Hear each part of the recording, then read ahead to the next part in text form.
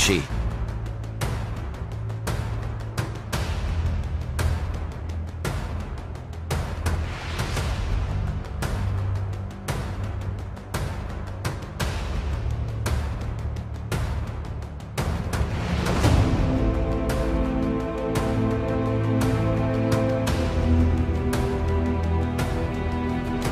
Live, fight, win.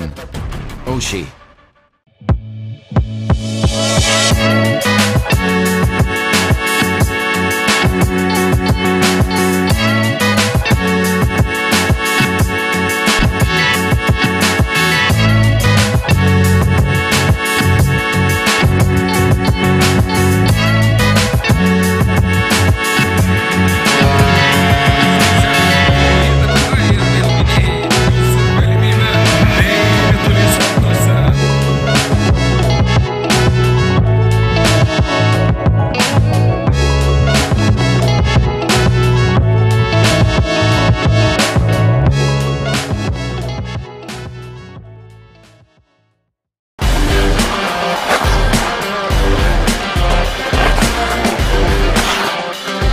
Pergalėm reikia įvarčių. O šiltiems namams labiausiai reikia ekonomiškų Airwell oras oras ir oras vanduo šilumos siurblių. Airwell. Taiklus pasirinkimas. Kartais kai kurie mūsų kolegos persistengia, bandydami darbo baldų patvarumą. Laimiai, mūsų siūlomo prekio sortimente yra kokybiški, intensyviam ir kasdieniam naudojimui pritaikyti produktai. Su septynių metų garantija ajotproduktai.lt.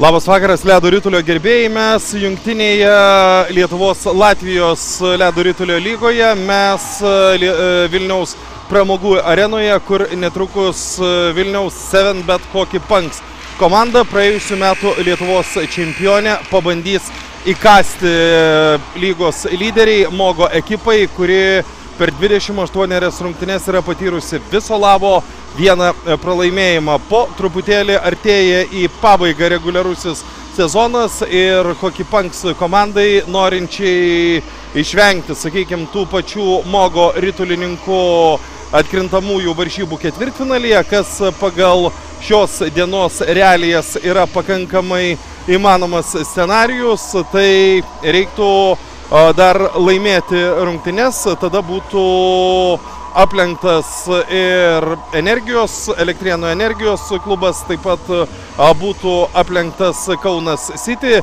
visi trys Lietuvos klubai dalyvaujantis OptiBet jungtinėje Lietuvos Latvijos ledo rytulio lygoje yra labai arti vienas šalia kito. 6, 7, 8 vietas užima Lietuvos klubai ir pagal surinktus taškus 23, 22, 21. Tai reiškia, kad kiekvienos laimėtos rungtynės gali pakeisti situaciją, o dar įvertinus tai, kad Vilniečiai yra sužaidę šiek tiek mažiau rungtynių, čia labai pavojingas išpolis ir pirmoji situacija prie Lietuvos klubo vartų. Na ir tokių situacijų reikia be jokios abejonės. E, Ve, tokių situacijų reikia vengti, tokių situacijų reikia saugotis, nes kiekvieną kartą kyla realus pavojus praleisti įvartį. Arturas Ozanlišas buvo pavojingoje situacijoje, jis per šį sezoną jau yra pelnęs 14 įvarčių, jis yra atlikęs 39 rezultatyvius perdavimus, taip kad galima įsivaizduoti, koks yra pavojingas 12 Latvijos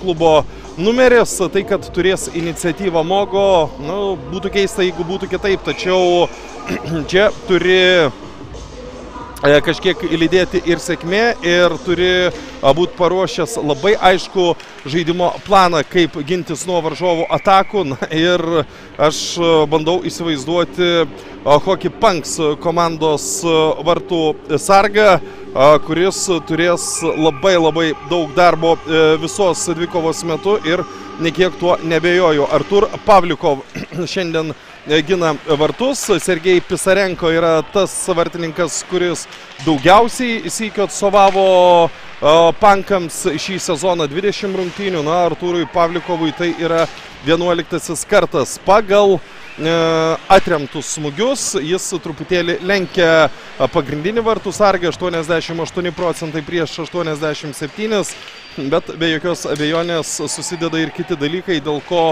o, dėl ko kur kas daugiau rungtynių šiame sezone yra sustovėjęs Sergejus Pisarenka. Dar kartelį 27 rungtynės, 21 taškas. Jeigu per dviejas rungtynės pavyktų iškovoti bent vieną pergalę, tai iš tos aštuntos pozicijos Vilniaus klubas pakiltų, o kol kas labai labai aiškus dominavimas Latvijos klubo per tas pirmasias e, dvi minutės. Aišku, yra lygių skirtumas, bet dar vienas dalykas, kurio nesinorėtų, kad e, pankai iš šias rungtynes būtų išėję jau pralaimėję. Ar yra taip, ar tai yra tiesiog tas mano minėtas lygių skirtumas, mes galėsime pamatyti per artimiausias minutės. Kalbant apie Mogo ekipą, tai ji yra ne tik lyderė, bet ji turi ir daugiausiai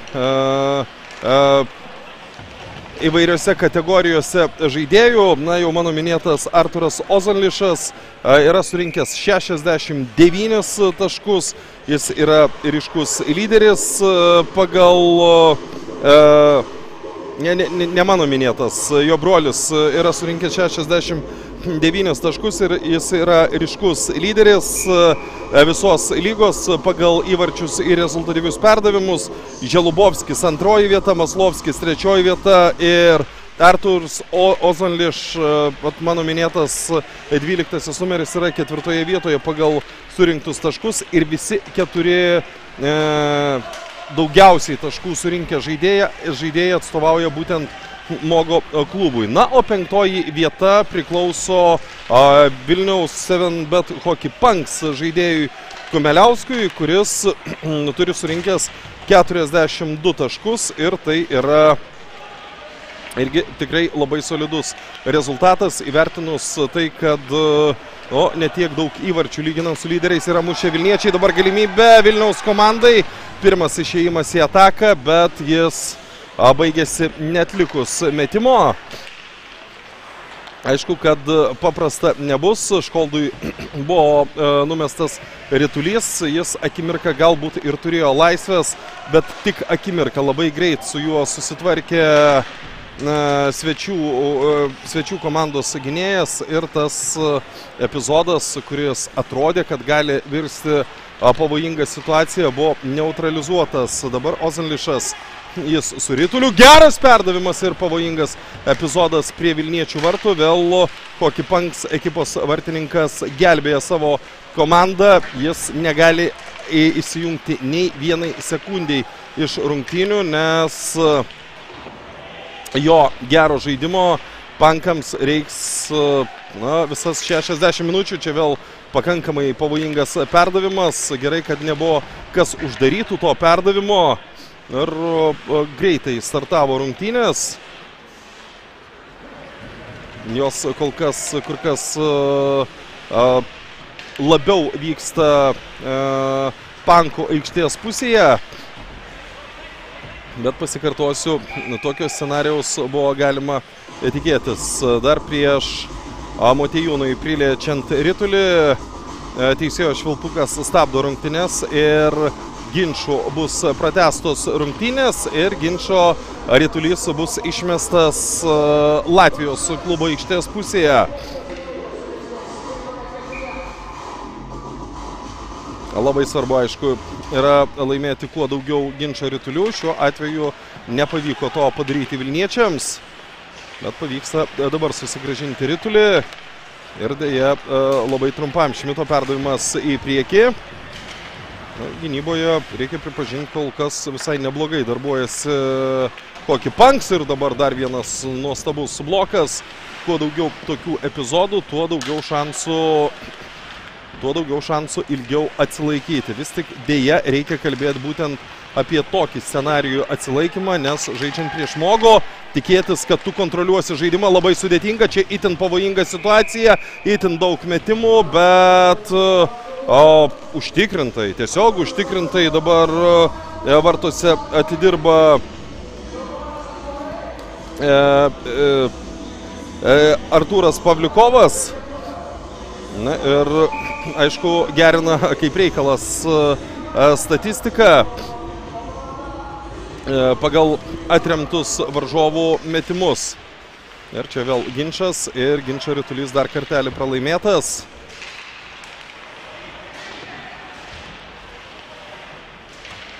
Norėtųsi, kad nors kiek pavyktų išeiti į varžovų aikštės pusę. Ta daryti yra labai labai sudėtinga.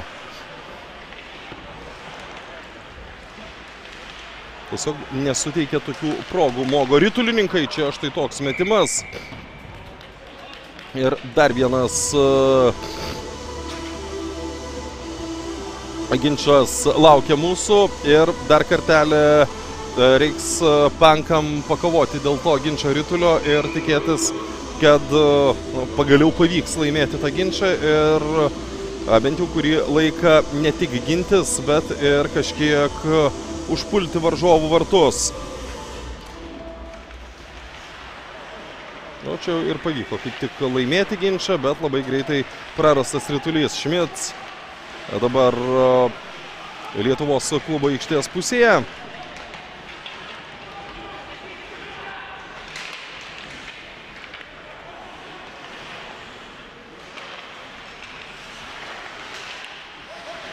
Štai perimtas rytulys, dabar galimybė išeiti į ataką. Deja, ta ataka pakankamai greit baigėsi. Tikrai ne pats blogiausias scenarius buvo, kur buvo numestas rytulys dabar į priekį.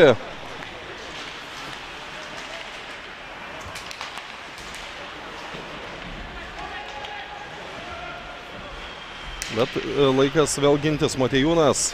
Ne pirmą kartą yra priverstas labai arti būti varžovų. Čia Bergo mėginimas iš tolimos distancijos. Nežinau, ar tai buvo metimas ar perdavimas. Perima rytulį pankai. Bet četvirtako rytulys ir vėl nepasiekė. Ilija četvirtakas.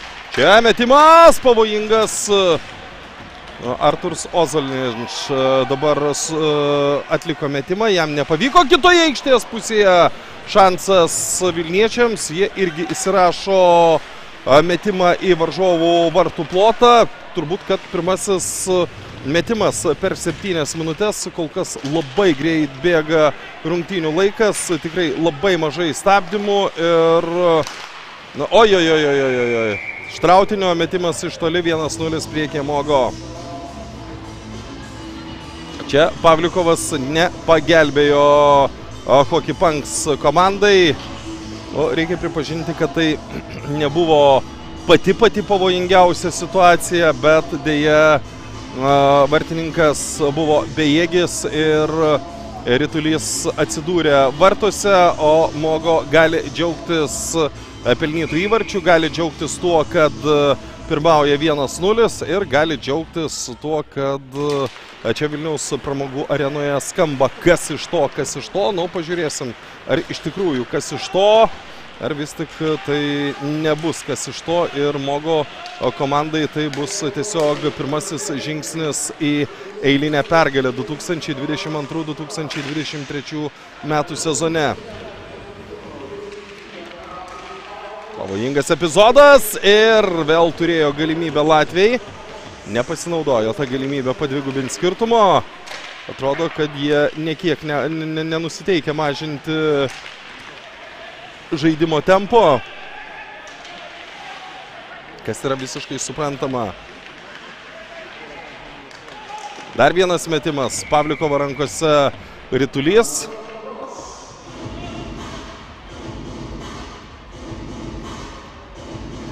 Ir dar kartelį ginčių bus grįžinamas rytulys atgal į aikštę.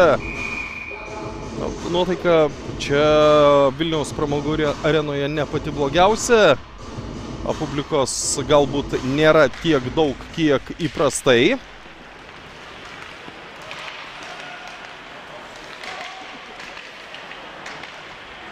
Bet negali sakyti, kad nėra žmonių, kurie šiandien nepal, nėra žmonių, kurie palaikytų kokį Panks komandą. Tikrai keli šimtai, o, keli šimtai žiūrovų yra susirinkę į Vilniaus pramogų arena. Četvirtakas dabar perima rytulį ir pradeda saviškių ataką. Čia kyla į viršų teisėjo ranka.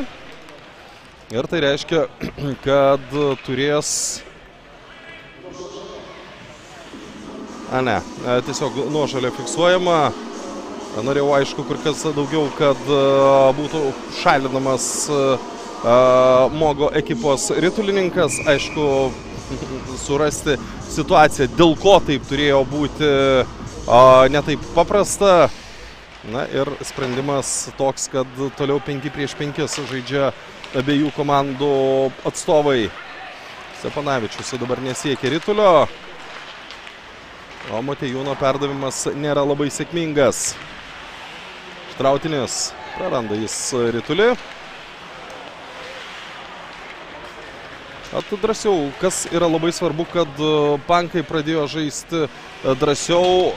Gražus blokas, norėtųsi, kad ta drąsa išliktų kuo ilgesnę rungtynių dalį. Čia metimas ir Arturas Ozanliš. Dar kartą tikrina Pavlikovo reakciją ir Pavlikovas tą reakciją demonstruoja, nu, nežinau, ar galima sakyti idealią, bet tikrai viską jis padarė taip, kaip reikalavo situacija.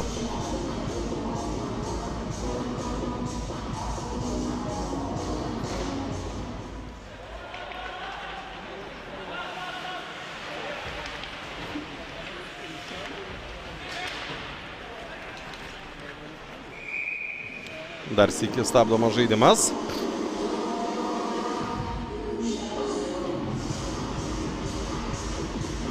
Ir dar kartelį ginčių prie Seven Bet Hockey Punks komandos vartų bus grįžinamas rytulys. Ir nu, kur kas daugiau ginčių laimė svečių komanda. Ir neišimtis yra ir paskutinysis mėginimas. Už pankų vartų rytulys, netikslus perdavimas.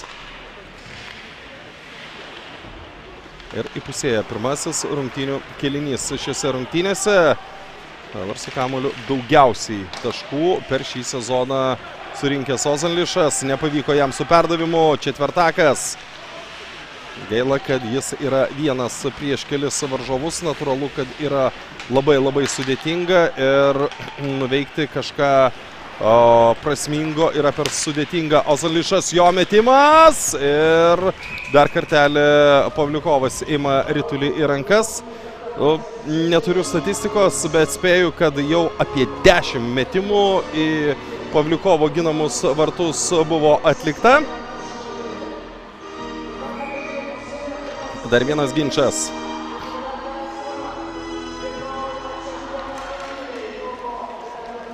Šmitas. Žalubovskis. Dešiniuoju kraštu. Taip pat patenkantis į daugiausiai taškų pagal įvarčius ir rezultatyvius perdavimus surinkusių lygos žaidėjų trejetą. Ne vieną itin įtikinamą pergalę šiame sezone yra iškovoję Mogo ritulininkai. Ir tarkim, jeigu taip atsitiktų, kad Mogo suvestų ketvirtfinalyje mm, Vilniaus 7bet Hockey Punks komandą, tai n- n- nesvarbu, ar būtent 7bet Hockey Punks, ar Arvel Energija, ar Kaunas City, kažkurį iš Lietuvos atstovų turės ketvirtfinalyje Mogo ir be jokios abejonės prieš kurį bežaistų Lietuvos atstovą Mogo, jie būtų labai ryškus tos poros favoritai. Ja, labai pavojingas metimas, ataka dar nesibaigia. Reiktų įsivalyti nuo savųjų vartų. Ta padaryti nėra taip labai paprasta. Čia tolimas metimas ir dar kartelį Pavliukovas ima ritulį į rankas. Darbelio e, 7bet kokį punks vartininkas turi iki kaklo. Dar sužaista tik 11 minučių šiuose rungtynėse.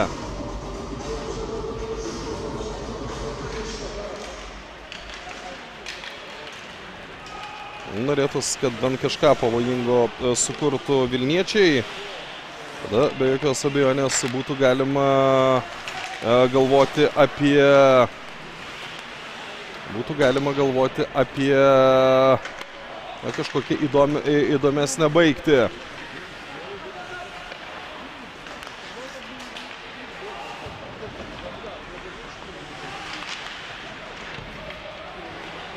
Sugeba perimti ritulį e, aikštės šeimininkai, tačiau tai trunka labai labai trumpą laiką. Nu, įsivaizduoju, kaip sudėtinga turėtų būti, kai nu, turbūt kokius 80 procentų laiko, ne mažiau, o gal net ir truputėlį daugiau reikia e, dirbti gynyboje.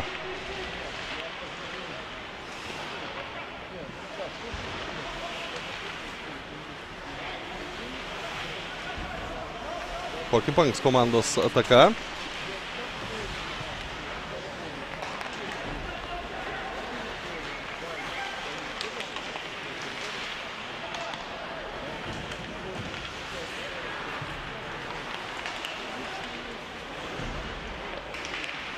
Ir čia pavojingas epizodas. Na, dažnai e, tenka kartoti šį žodžių junginį pavojingas epizodas ir visi tie kartai yra prie visi tie kartai yra prie Lietuvos klubo vartų.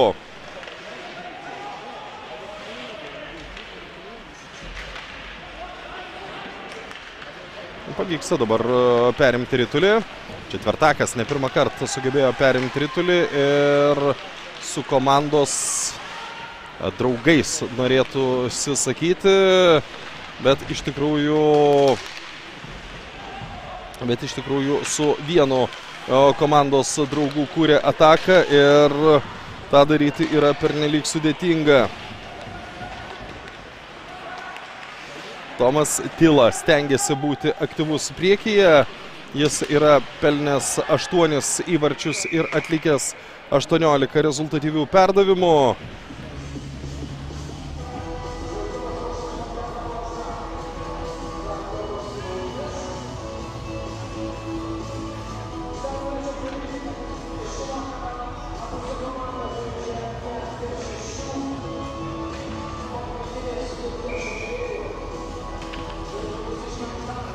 Jau tik šešios minutės yra iki pirmojo kelnio pabaigos. Pirmojo kelnio pabaigos, e, pirmojo kelnio, kuris e, kol kas labai aiškiai parodo, e, kodėl turnyro lentelėje Mogo užima pirmąją vietą ir kodėl Hockey Punks komanda yra aštunta. Čia pavojingas metimas, sugeba apsiginti Pavliukovas, tušti vartai ir kamuolys, kamuolys rytulys neatsiduria antrą kartą vartuose, kas yra jau gera žinia, nors situacija buvo beproto pavojinga ir tikrai labai gerą šansą Mogo turėjo padvigubinti skirtumą. Šiaip, jeigu reiktų kalbėti apie žaidėją, kuris šiandien išsiskiria, Tai aišku, visų pirma, reiktų kalbėti apie 7bet Hockey Punks vartų sargą Artūrą Pavliukovą. Darbo jis turi labai labai daug. Ir apmaudžiausia, kad net ir toje situacijoje, kai buvo praleistas įvartis, o Pavliukovas galėjo sužaisti geriau. daugelį, daugelį situacijų Jis tikrai labai užtikrintai atlieka savo darbą ir jei ne jis, skirtumas veikiausiai, kad jau dabar būtų kur kas didesnis.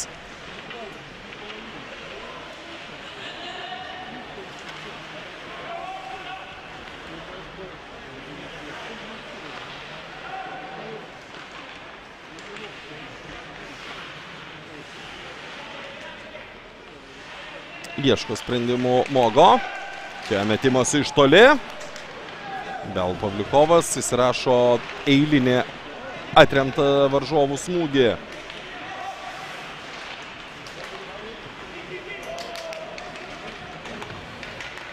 Lipsbergs meta, kamul, e, meta rytulį atgal. Na ir daug keitimų abiejose komandose. O tuo metu minutės. Ojojoj, čia turėtų būti šalinimas iš aikštės. Taip, pirmas kartas šiose rungtynėse, kai už... Pažiūrėkit, čia labai gerai matos, kaip buvo pakišta e, lasda už kojų ir, ir jie četvirtakas yra baudžiamas dviejų minučių bauda. Jis sėdasi ant nubaustųjų suolo, o jo komanda aikštėje lieka keturiese prieš penkis. Na, toks, na, manyčiau, kad a, per nelyg lengvas a, dalykas, dėl ko užsidirbo bausmę a, dabar a, četvirtakas. Čia kurį laiką Jakobsinas buvo be lasdos. Įsivaizduokit, žaidė mažumoje ir dar vienas žaidėjas yra priverstas žaisti be lasdos. Bet tai truko labai trumpai. Čia metimas iš tolimos distancijos ir 2-0. Ozanliš sugeba pasižymėti. Rezultatas 2-0. Ilja Četvirtakas grįžta ant ledo ir sėdasi ant atsarginių suolo, bet 5 prieš 5 žais dabar abi komandos. Labai, labai lengvas būdas Arturui Ozanlišui dvigubinti skirtumą ir 2-0. Reikia pripažinti, kad pagal Reikia pripažinti, kad pagal tą iniciatyvą, pagal tą persvarą kurią e, turi Latvijos klubas, jie e, tokios persvaros yra nusipelnę. Čia šansas e, aikštės šeimininkams, greit stabdomas žaidimas, vėl ginčio, ginčio bus tęsiamas žaidimas.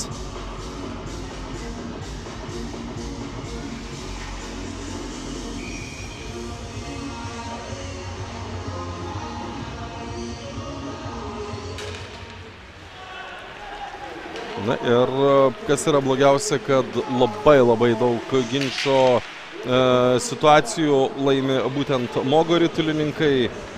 Na ir turėtų apie tai pamastyti pankai. Nu, čia aišku, mąstyti gali nemastęs. Jeigu varžovas yra stipresnis ir jis įdeda maksimaliai pastangų, tau tiesiog a, tikimybė laimėti tą ginčio rytulį sumažėja.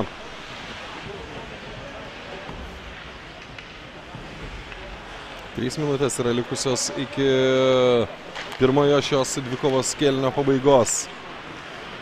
Artėjantis į pabaigą reguliarusis sezonas OptiBet uh, uh, ledo rytulio lygoje, kurie kaunasi Lietuvos ir Latvijos klubai.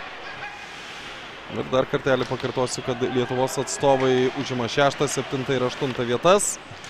Tai reiškia, kad ketvirtfinalyje kausis su trimis stipriausiomis Latvijos komandomis ir patekti į pusfinalį bent vienai Lietuvos komandai jau būtų tikrai didelis pasiekimas. 2.20 užbaigti kėlinį.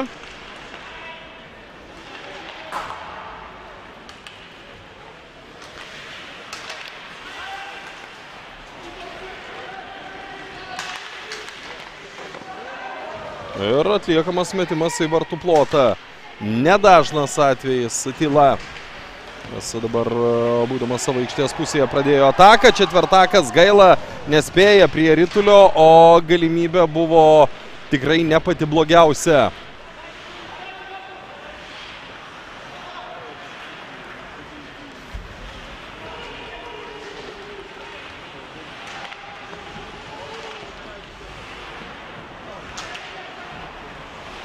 Vėl tyla kovoje dėl rytulio ir sugebo, ai ne, nesugebo laimėti. Atrodė, kad pavyks jam numušti rytulį arčiau varžovų vartų. To padaryti nepavyko.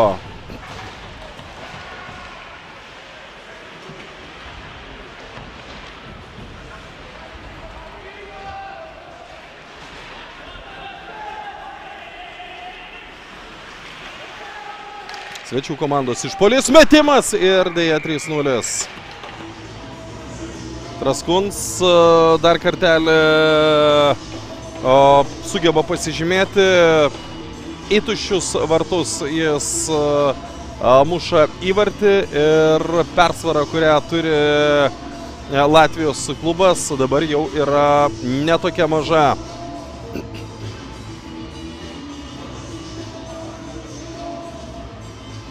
Prasidėjus paskutiniai pirmojo rungtynių kėlinio minutėjai.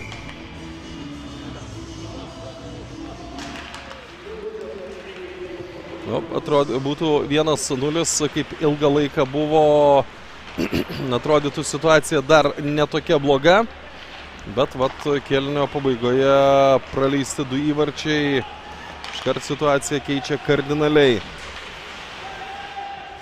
Čia dar vienas mėginimas, Ozalnišas. Gerai, kad nepataiko į rytulį, nors galimybė buvo ne pati blogiausia. Stepanavičius dabar muša rytulį bet kur.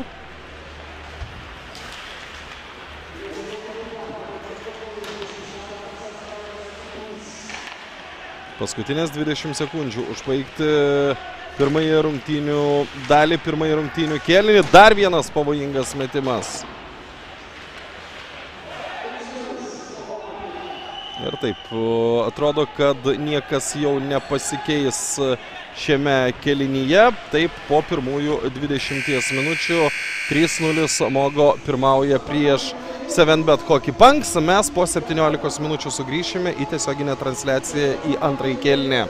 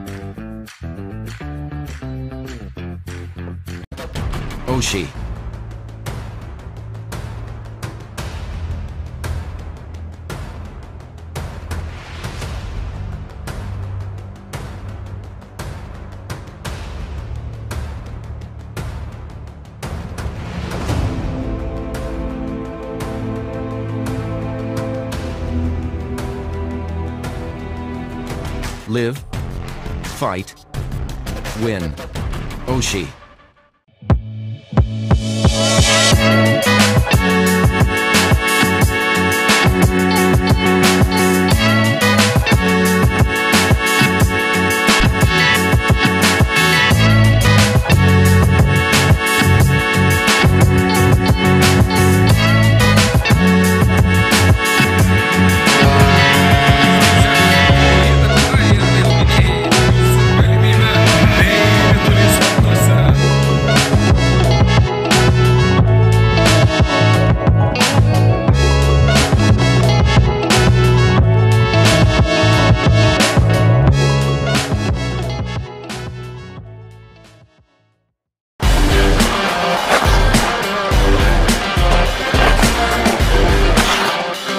Pergalėm reikia įvarčių.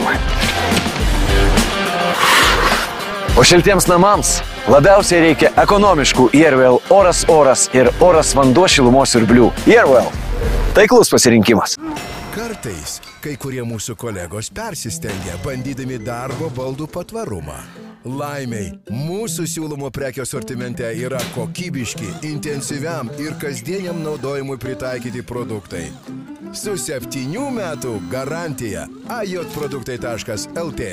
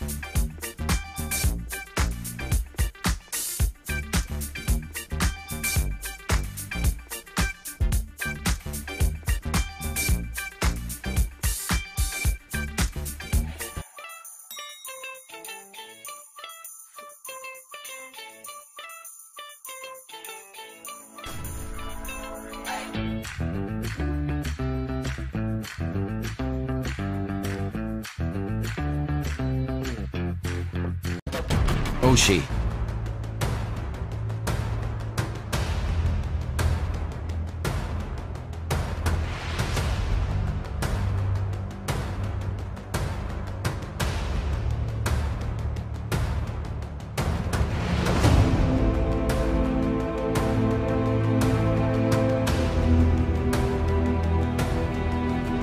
Live, fight, win.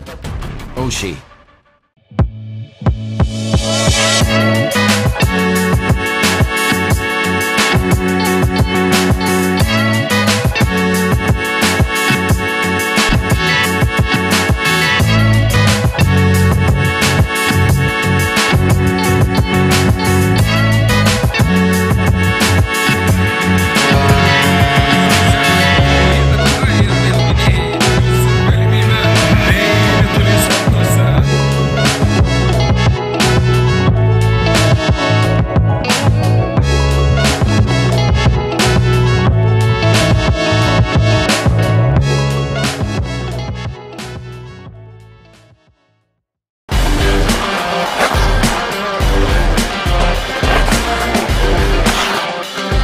Pergalėm reikia įvarčių.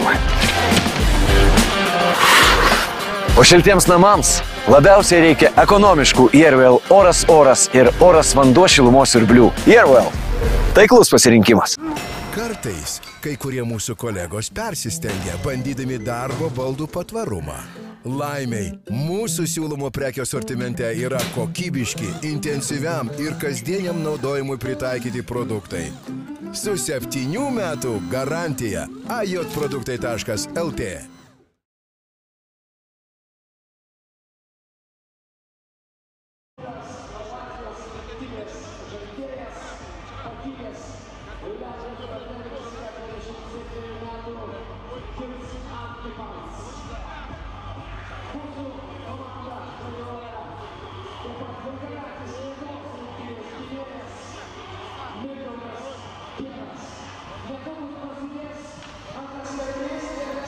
Labas vakaras dar kartelį, mes grįžtame į Vilniaus pramogų areną, kur tęsiasi OptiBet Lietuvos Latvijos jungtinės ledo rytulio lygos rungtynės tarp Vilniaus 7Bet Hockey Punks ir e, Mogo ekipų.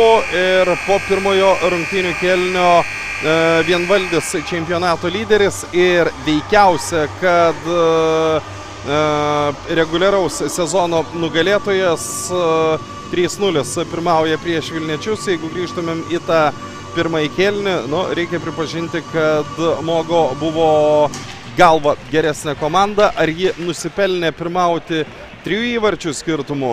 Nu, jeigu žiūrėsime į visą žaidimą, į tai, kiek Arturas Pavlikovas gelbėjo komandą, tai žiūrint iš to taško turbūt, kad nusipelnė, bet žiūrint iš kito taško dabar galimybė Vilniečiams, pavojingas epizodas ir per plauką nuo pirmojo įvarčio yra Lietuvos sostinės komanda. Taigi, jeigu mes žiūrėtumėm į chronologiją, kaip buvo pelnyti įvarčiai, tai labai ilgą laiką rezultatas buvo 1-0, tada tokia mano nuomonė, visiškai nereikalinga Iljos četvertako pražanga, kuri išsiuntė ritulininką ant nubaustųjų suolo. Tai buvo beje vienintelis pašalinimas per pirmąjį kelnį. Nu, ir labai labai greitai Latvijai tuo pasinaudojo pelnydami antrąjį vartį, o jau laikrodžiui skaičiuojant paskutinėje kelnio minutę Buvo pelnytas ir trečiasis įvartis. Labai drąsiai antrąjį kelnį pradeda Vilniečiai. Čia tas pats četvirtakas buvo atakos smaigalyje.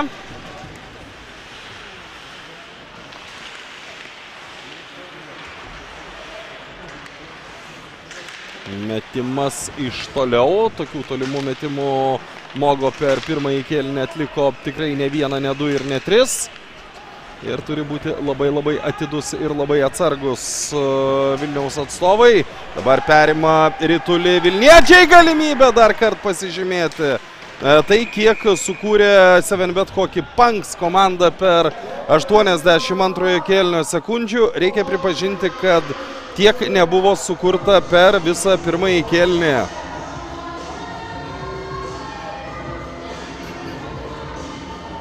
Ir pirmas kartas, kai turės kiekybinę persvarą aikštėje Vilniečiai.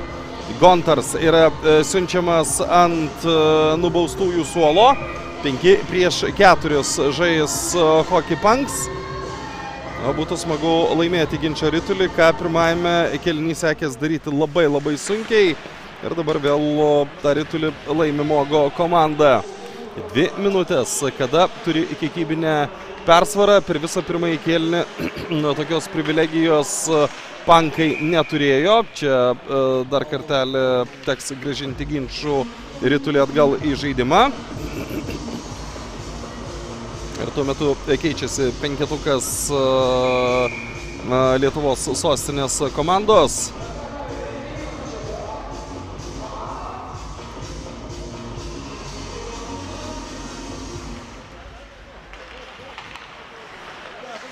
Nu, šį kartą pavyko laimėti ir tą ginčą, kas yra pakankamai retas atvejis. Kaip drąsiai žaidžia Mogo, žaisdami keturiese prieš penkis. Jie bando spausti Vilniaus komandos rytulininkus jų pačių aikštės pusėje. Pasitikėjimas iš tikrųjų neįtikėtinas. Dabar galimybė perėjus į varžovų aikštės pusę sukurti kažką įdomesnio. Geras perdavimas ir labai labai pavojingas epizodas. Mateiko turėjo šansą pasižymėti dabar. Jakobsensui dešinį kraštą ir četvirtako metimas.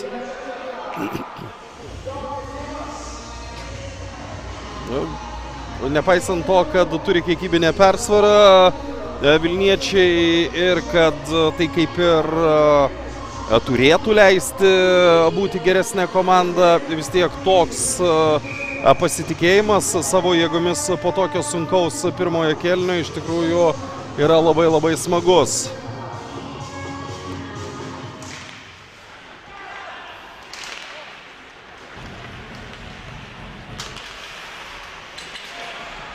Tu supranti, kad žaidi prieš stipresnę komandą ir, kaip liaudiškai tariant, prieš vėją nepapūsi, bet turi daryti, kas priklauso nuo tavęs. Ir jeigu tau pavyks tai padaryti, aišku, galbūt kažkas ir gausis. 30 sekundžių lieka žaisti. Daugumoje pavojingas epizodas. Skoldas visiškai laisvas buvo dabar atsidūręs. Tikrai geras perdavimas jam ir dar vienas šansas. Jeigu pirmajame kelinyje apie jokias galimybės prie Latvijos ekipos vartų mes kalbėti negalėjome, tai antrojo kėlinio pradžioje, net ir tuomet, kai dar 5 prieš 5 žaidė komandos, porą epizodų kokį pank sukūrė, ką jau kalbėti apie tą atkarpą, kai pankai žaidžia daugumoje. O daugumoje žais dar 20 sekundžių. Labai gerai žaidinėjamas rytulys. Gaila nepavyko pratesti šios atakos.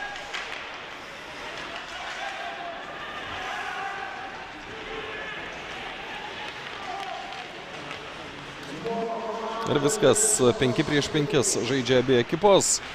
3,5 minutės sužaistos antrajame rungtynių kelinyje. Žiūrėsime, kiek drąsos turės pankai žaisti tuo met, kai varžovų aikštėje yra 5.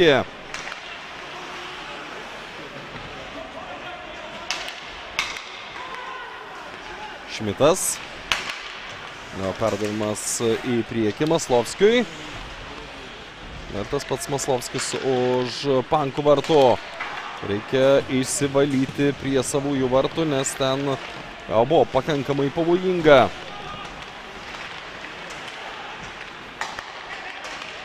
Ir vėl pavojus, ir vėl galimybė. Tokių epizodų mes per pirmąjį kėlinį matėme tikrai daug. Artūras Pavliukovas vėl gelbėjo komandą.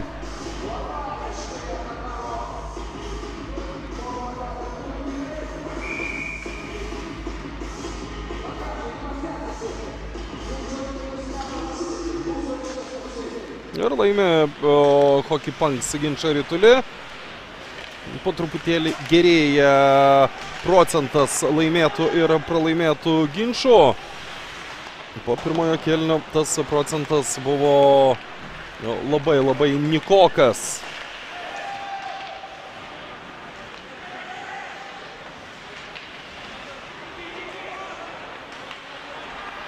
Gali būti, kad po pirmojo tokio gero kėlinio Mogo pajautė, kad rungtynės yra laimėtos. Ir antrajame kelinyje tikrai jungė žemesnę pavarą. Ir čia įvartis! Ilja četvirtakas. Vienu užsimojimu dabar paleidžia rytulį į varžovų vartus. 1-3 Ilja švelnina komandos atsilikimą.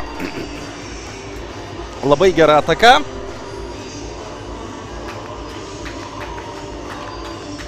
Dar kartelį viskas prasidėjo nuo savųjų vartų.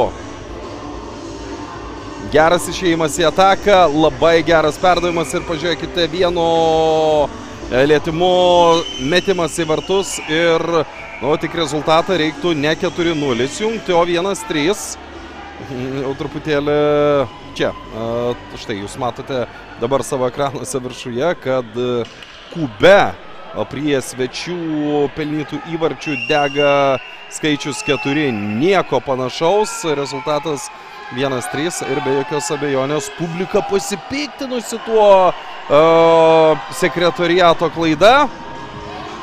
Visi nori matyti, kad pankai yra pelny įvartį ir štai sekretoriato klaidos ištaisimas džiaugsmo čia Vilniaus pramogų arenoje suteikia ne mažiau nei pats pelnytas įvartis. Nu galėtų kristi dar vienas. Ilija Četvirtakas yra to įvarčio autorius.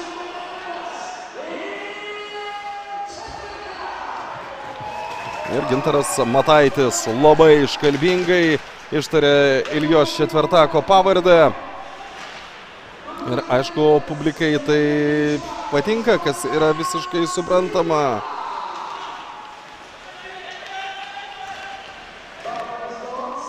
Aišku, dabar labai svarbu yra nepervertinti savo e, galimybių ir e, žinoti, kad, e, kad bet kokiu atveju Mogo yra šių rungtynių favoritai ir reikia būti atsargiems.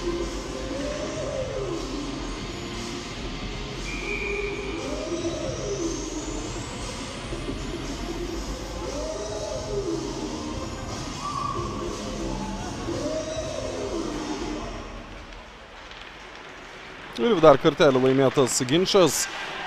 Jeigu o, skaičiuotumėm tik antrajame kelinyje ginčius, tai aš statistikos neturiu, bet manyčiau, kad Pankų komanda tų ginčių laimėjo netgi daugiau negu varžovai.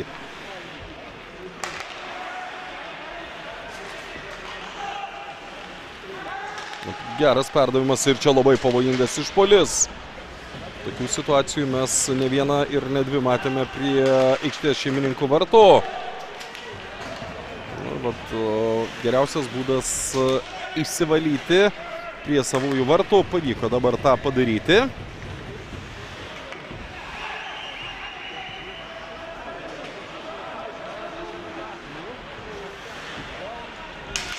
Daug žaidėjų vėl keičiasi. Daug kyla nuo solo tiek vienoje, tiek kitoje aikštės pusėse. Ir vėl sakyčiau, kad jungiama aukštesnė pavara šiuose rungtynėse. Netikslus metimas. Ir su rytuliu dabar trumpam buvo Hockey Punks komanda. Pavojingas epizodas. Apsigina 7bet Hockey Punks. Ir stabdomos rungtynės dabar.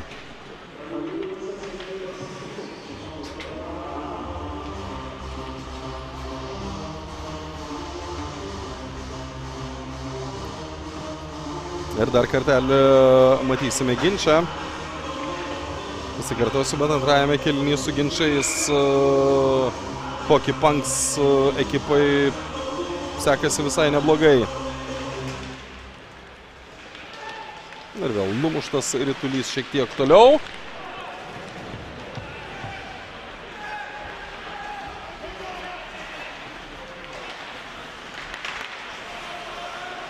Perimtas labai trumpam buvo perimtas rytulys vėl mušamas arčiau varžovų vartų. Kaip gaila, kad nepavyko perimti rytulio dabar. Buvo galima sukurti tikrai pavojingą kontrataką. Pavojingas epizodas ir net labai pavojingas epizodas. Pasiseka dabar Vilniečiams, kad neatsidūrė rytulys vartose ir nu, eilinė situacija, kai reikia įsivalyti.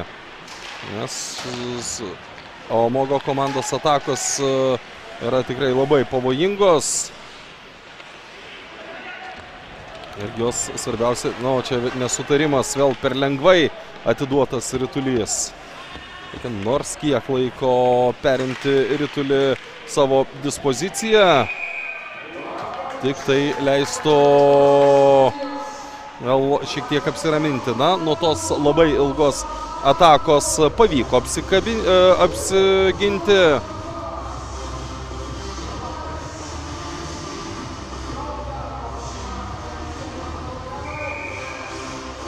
Ir keičiasi penketai abiejų komandų.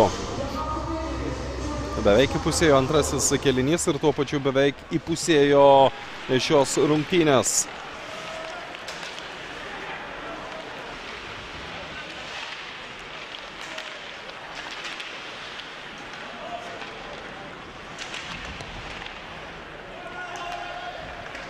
Nu, vat, pagaliau pavyksta mušti rytulį tolin, dėja yra stabdomos rungtynės. Ir eilinis ginčas pastaruoju metu. Ginčio rytulių yra tikrai daug ir pakankamai dažnai stabdomas žaidimas ir pakankamai e, dažnai būtent tokiu būdu yra e, tęsiamas jis. Ir svarbiausia, kad dabar visi ginčiai yra prie kokį panks ekipos vartų.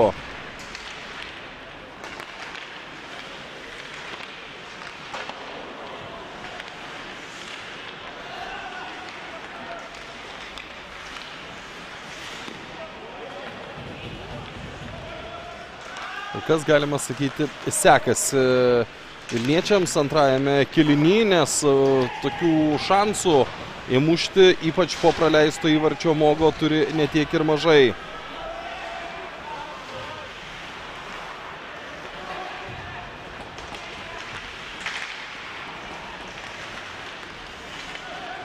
Niekaip nepavyksta nors kiek palaikyti rytulio pankų komandai. Čia metimas ir dar kartelį rytulys vartose 4-1 priekė mogo.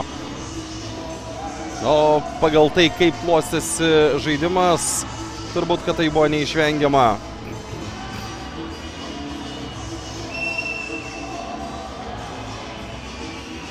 Ir čia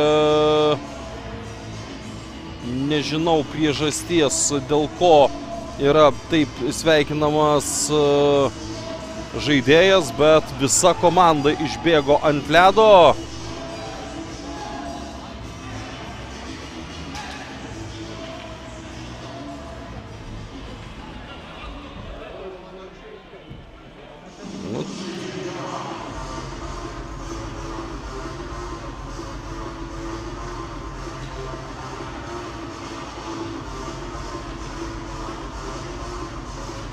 Visa komanda dabar išbėgo pasveikinti įvarčio autorio Elvio Želubovskio. 24 jo pelnytas įvartis ir pauzė rungtynėse.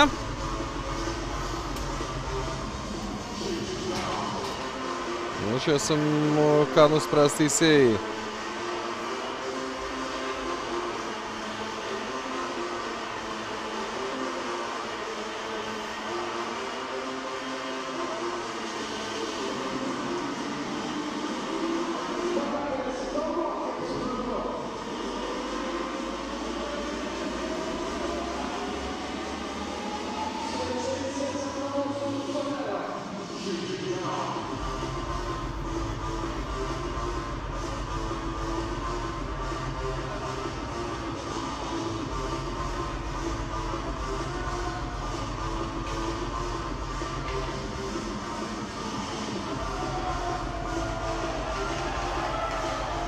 Bus šalinamas vienas žaidėjas Želubovskis įvarčio autorius šalinamas dviem minutėm. Čia aišku, nei jis pats kaltas, kalti komandos draugai, kurie visi išbėgo ant ledo.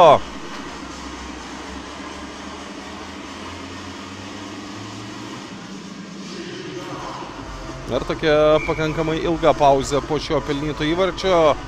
Būtų įdomu sužinoti priežastį, dėl ko tokių sveikinimų sulaukė Želubovskis. Nu, čia nėra ta situacija, kad uh, buvo pelnytas pergalingas įvartis ar dar kažkas. Galbūt kažkoks jubiliejinis šio žaidėjo įvartis atstovaujant Mogo ekipai Na, tikrai to nežinau, bet faktas tas, kad e, labai gražiai buvo pasveikintas šis žaidėjas. Na ir dabar Hockey Punks turi dviejų minučių kiekybinę persvarą aikštėje. Metimas iš toli. Nesėkmingas metimas.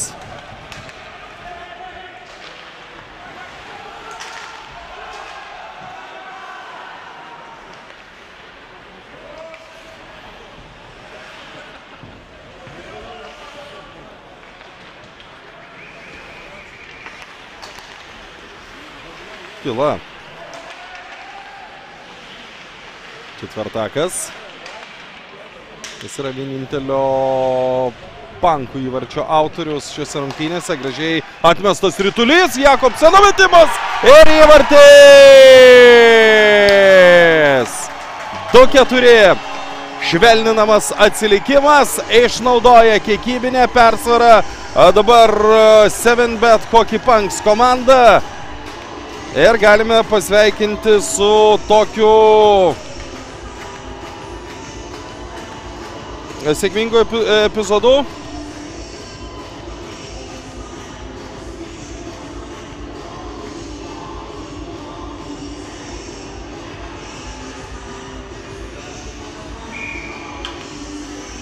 O visai padoriai dabar atrodo rezultatas. 2-4. Antrajame kelinyje pankai kol kas pirmauja rezultatu 2-1.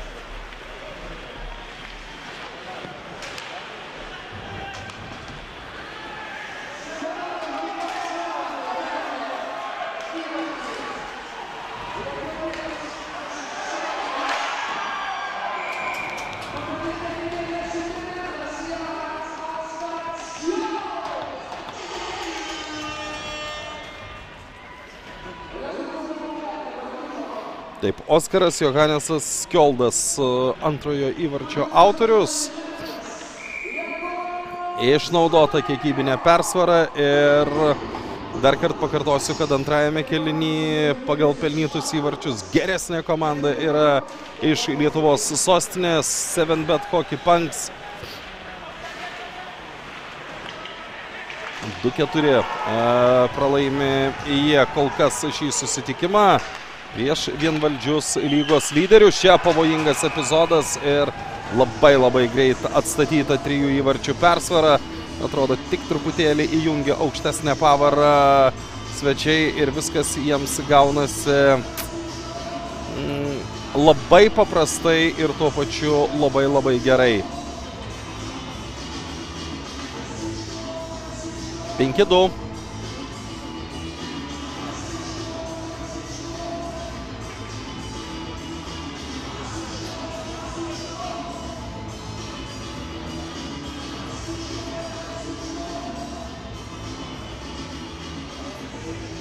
Atrodo tiek pozityvo suteikia e, tie epizodai, kai sumažėja skirtumas iki kai sumažėja skirtumas iki dviejų įvarčių, bet labai labai e, trumpai tai trunko. Iškart labai gera ataka ir Artūras Pavliukovas, nu, aišku, kad a, buvo bejėgis.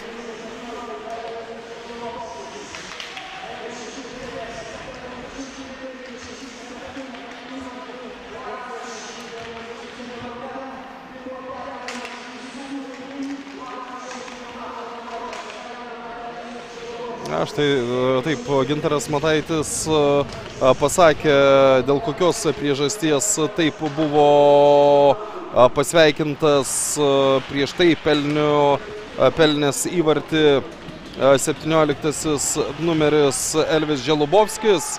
Jis pelnė 227 įvartį, jis beje pasižymėjo ir dabar. Ir 227 įvarčiai yra naujas Latvijos rekordas.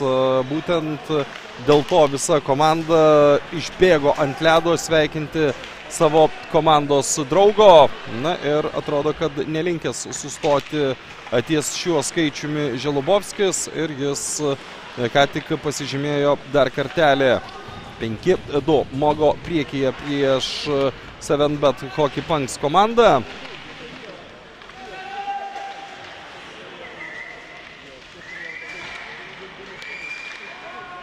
Bet jeigu lygintumėm pirmą ir antrą kėlinius, vis tiek e, pasitikėjimo e, Vilniečiai demonstruoja žymiai daugiau. Aišku, kažkiek ir e, nuleidę gazą yra mogo atstovai.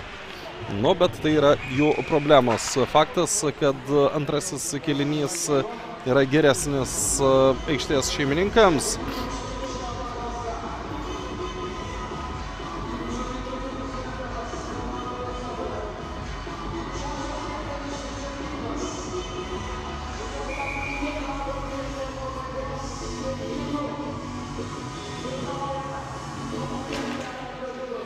Apgražinamas rytulys atgal į žaidimą.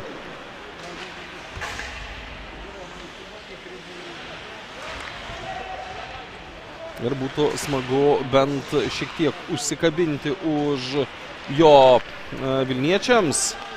O tada ir pats žaidimas atrodytų žymiai lengvesnis.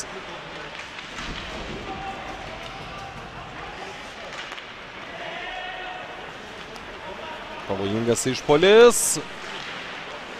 Nu, Truputėlį viską per greitai dabar darė Mogo. Aišku, spėti pagal taip skriejantį rytulį yra tiesiog neįmanoma.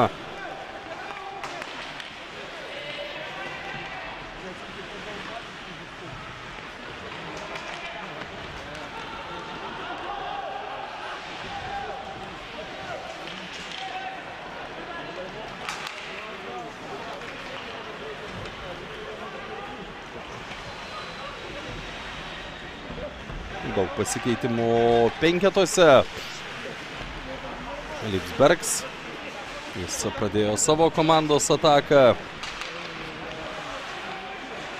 Ir čia pavojingas, pakankamai pavojingas epizodas, kuris virsta perimtų rytulių pankų komandoje. Četvirtakas. Tyla. Ojojojojojojojojojoj. Labai pavojingas atsikirtimas ir įvartis tiek te reikia. Suklysk ir ta klaida bus išnaudota dėja pačiu skaudžiausiu būdu. Aleksandras Biškinis dabar pelno dar vieną įvartį, rezultatas jau 6-2.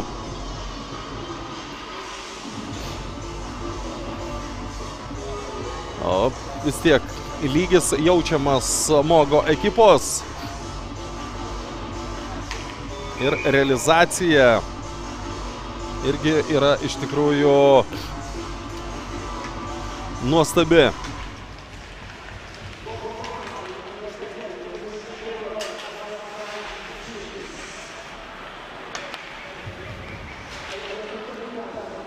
Tik atsikirto Vilniečiai, užteko perimto rytulio, vieno perdavimo ir šeštasis įvartis 3-2. E, Antrajame kelinyje jau net ir, jeigu skaičiuotumėm tik antrojo kelinio rezultatą, geresni yra svečiai iš Latvijos.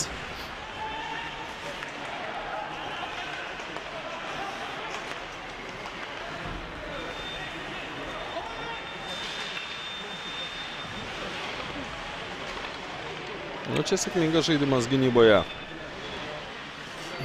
Labai svarbu nesustoti ir e, toliau rinktis, įsirinkti žaidėjus gynyboje ir, nu, jeigu įmanoma, kuo greičiau susigražinti rytulį į savo dispoziciją. Jau tik keturios minutės iki kėlinio pabaigos.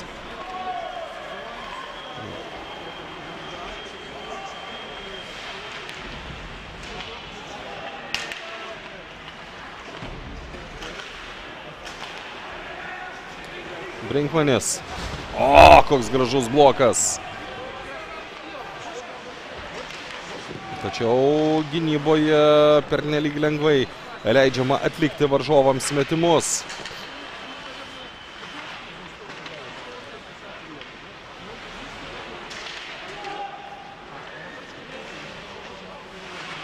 Dar mažiau laiko iki antrojo kėlinio pabaigos. Trečiasis kelnys, manau, bus tik toks, kurį a, komandos sužais a, abi puikiai žinodamos, kuri yra geresnė ir kuri šiandien laimės rungtynes.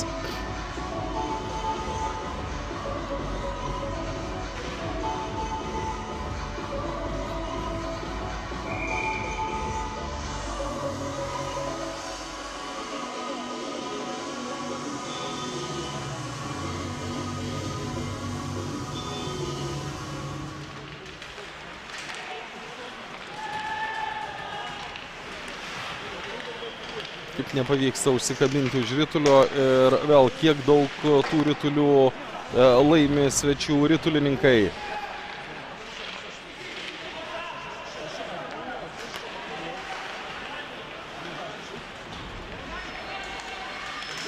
Kalbu, aišku, apie ginčio situacijas reiktų o, kuo toliau išmušti rytulį nuo savųjų vartų, nes situacija pakankamai pavojinga.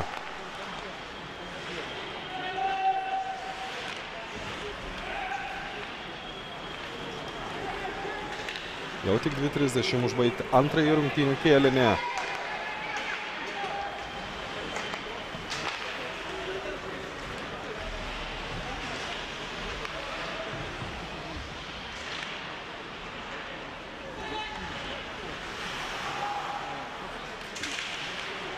Ir dabar pa, pagaliau pavyksta perimti rytulį galimybę įvartis! Antrajame kelnyje savo progas puikiai realizuoja ir Hockey Punks komanda. 3-6 toks bendras rezultatas. Jeigu žiūrėsime tik į antrąjį kelnį, tai 3-3. Skeldas muša savo antrąjį įvartį šiuose rungtynėse.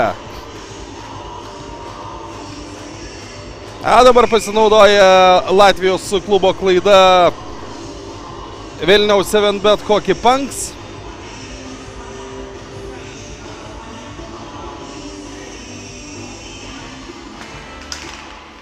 Na ir vėl viskas atrodo taip, na kaip ir supranti, kad aišku minusas, supranti, kad pralaimi, bet kai supranti prieš, oi, oi, oi, oi, nu čia širkštoka klaida. A, kai tu supranti prieš ką žaidi, tai tas 3-6 tikrai netrodo labai labai baisiai, vėl per plauką nuo perimto rytulio, čia dėja pražanga ir bus šalinimas iš aikštės. Dviejų įvarčių autorius Kioldas dabar siunčiamas ant nubaustųjų suolo. O iki antrojo kelnio pabaigos 97 sekundės. Štai dar kartelį neleistinas veiksmas lasda.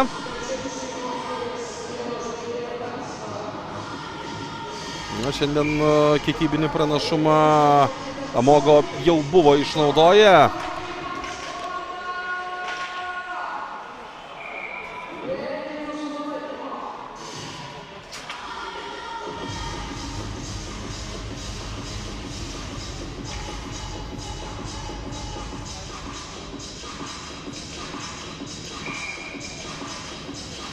Dar vienas ginčas.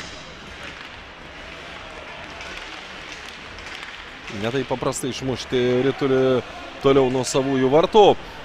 Jeigu taip atsitiktų, kad nebūtų įmuštas įvartis antrajame kelinyje, tai treč... Oi, būtų, bus įmuštas įvartis Arturas Ozinliš. Per 19 sekundžių vėl kiekybinė persvara verčia įvarčių 7-3. Nu, labai rezultatyvus kelinys per antrąjį kelinį abi komandos kartu sumušė net septynis įvarčius. Nu, net nespėjau užbaigti sakinio apie tai, kad jeigu nebūtų pelnytas įvartis iki kėlinio pabaigos, tai reikštų, kad trečiąjį kėlinį abi komandos pradėtų mm, penki prieš keturis. Penki būtų Amogo atstovai, keturiese Vilniečiai. Dar vienas e, gal pavojingas perdavimas. Reikia įsivalyti. Dažnai arba net dažniausiai kartojama frazė šiose rungtynėse.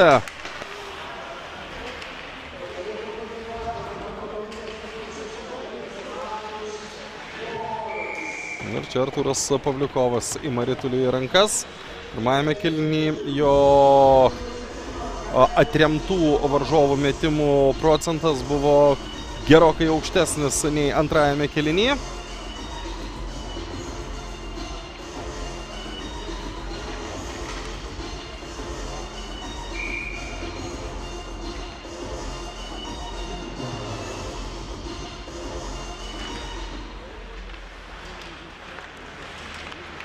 Nu, Pavyksta laimėti ginčą. Laikrodis skaičiuoja paskutinę kėlinio minutę.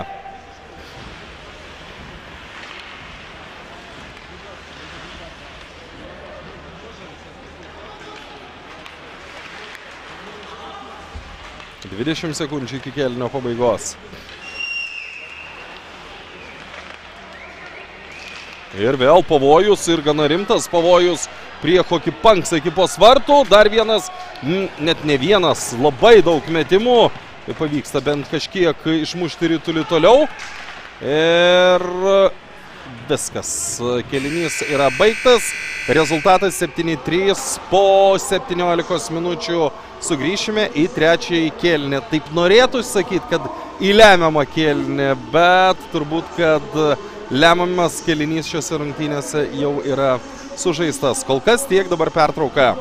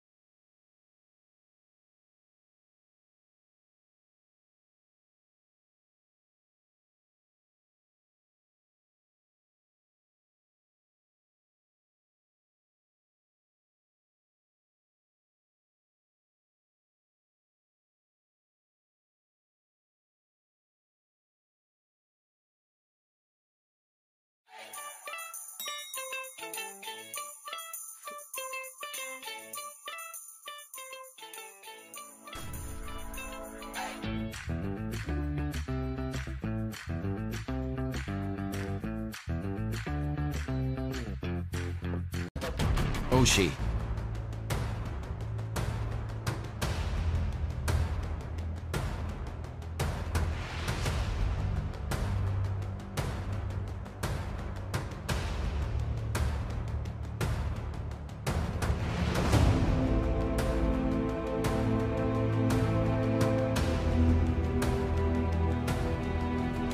Live, fight, win.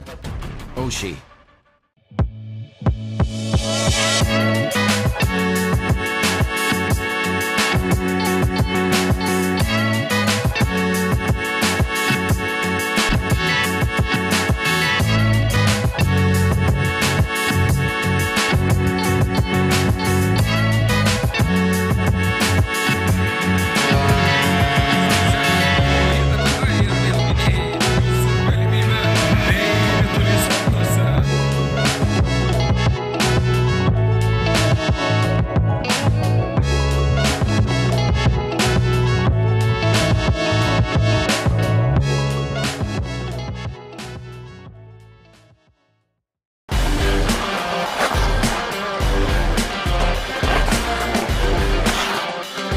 Pergalėm reikia įvarčių.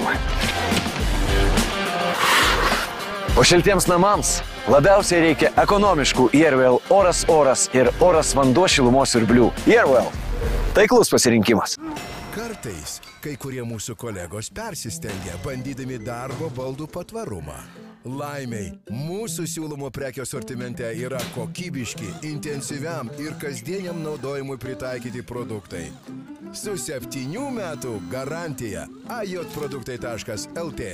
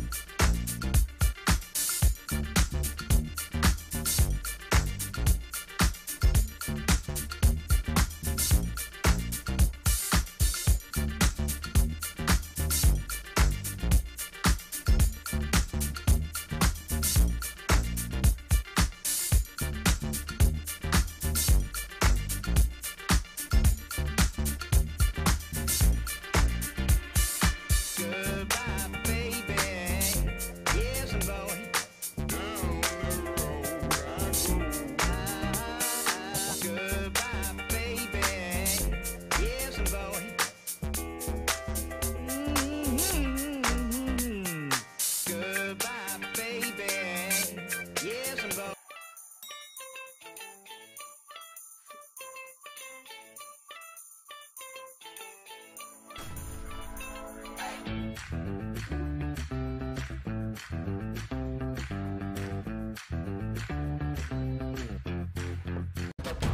Oshi.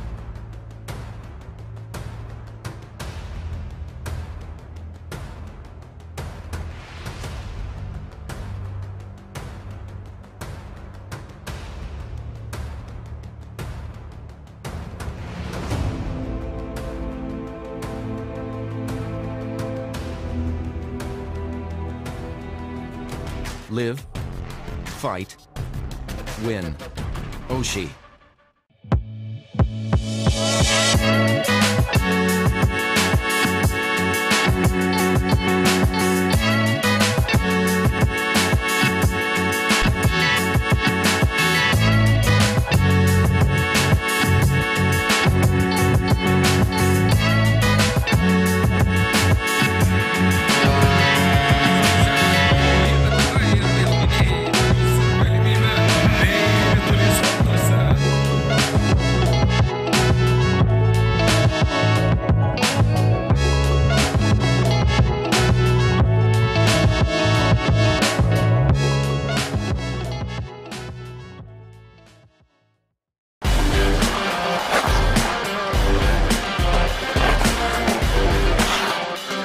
Pergalėm reikia įvarčių. O šiltiems namams labiausiai reikia ekonomiškų Airwell oras oras ir oras vanduo šilumos siurblių. Airwell. Taiklus pasirinkimas. Kartais kai kurie mūsų kolegos persistengia, bandydami darbo baldų patvarumą. Laimiai, mūsų siūlomo prekio sortimente yra kokybiški, intensyviam ir kasdieniam naudojimui pritaikyti produktai. Su septynių metų garantija.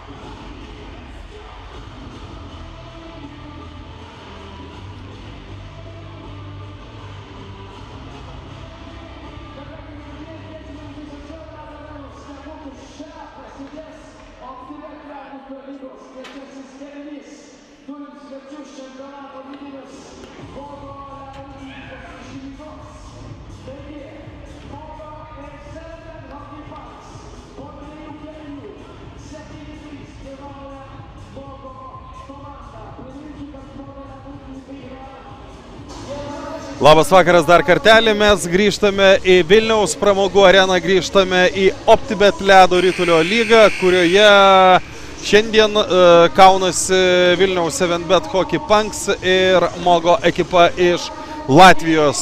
Ir po dviejų kelinių e, čempionato lyderiai pirmauja rezultatu 7-3. Nu, reikia pripažinti, kad uh, geresnė komanda yra Mogo ir uh, tai, ką gali padaryti Hockey Punks, kiek gali kovoti, kiek gali varžytis, man atrodo, tiek tą ir daro Lietuvos klubas.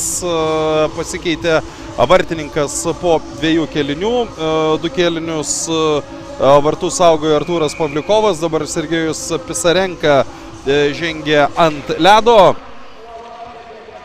Na ir žiūrėsime, kaip seksis jam gelbėti komandą nuo varžovų atakų, o kad tų atakų bus ir kad jų bus nemažai, tai nekiek tuo neabejoju. Jeigu grįžtumėm į šių rungtynių chronologiją, tai per pirmąjį kėlinį tris įvarčius sugebėjo sumušti Mogo, antrąjį kėlinį pradėjo pelnytų įvarčių aikštės šeimininkai. Ilija Četvertakas pasižymėjo.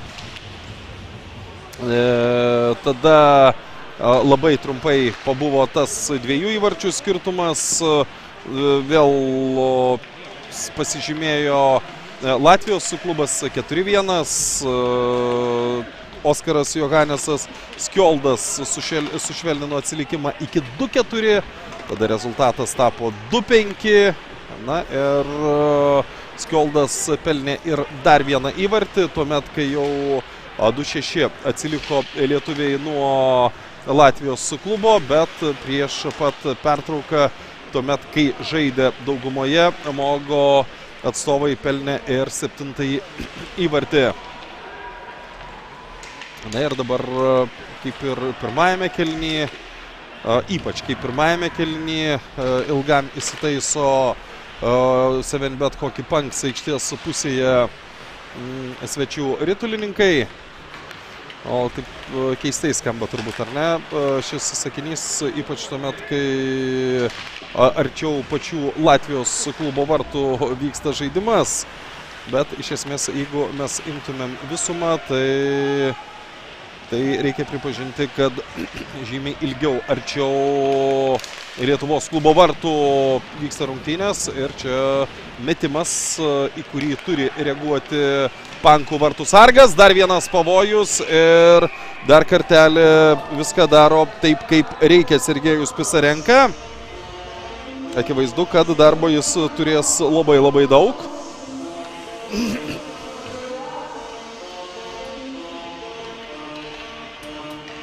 Ir būtų gerai, kad tas darbas jo būtų atliekamas teigiamai. Nu, įsigelbėti šiuose rungtynėse bus labai labai sudėtinga. Čia beje gali būti tokia savotiška generalinė repeticija prieš ketvirtfinalio serijos rungtynes. Jeigu nieks kardinaliai nepasikeis, tai atkrentamųjų varžybų ketvirtfinalyje Mogo ir Hockey Punks taip pat susikaus tarpusavį.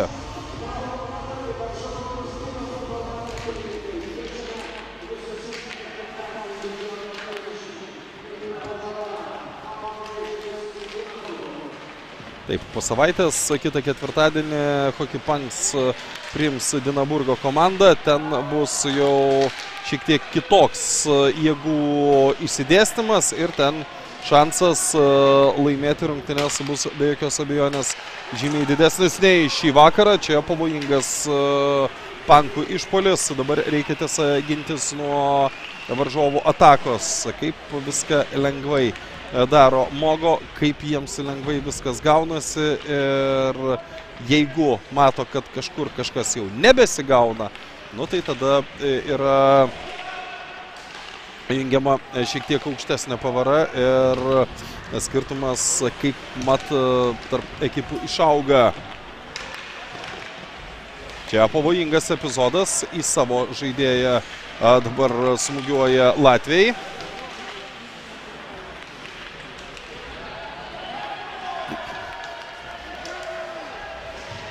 Ir perėjimas Jakobseno į priešininkų aikštės pusę. Štai bent jau tokį mini pavojų sukūrė kokį panksą prie varžovų vartų.